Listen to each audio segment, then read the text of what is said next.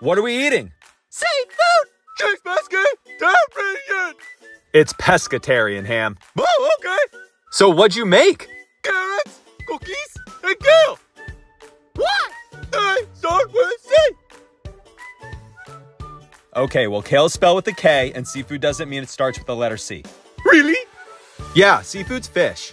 Fishy?